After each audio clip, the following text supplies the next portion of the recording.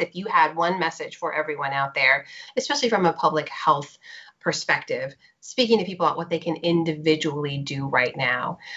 We're heading into the holiday season. People are tired. Pandemic fatigue is real.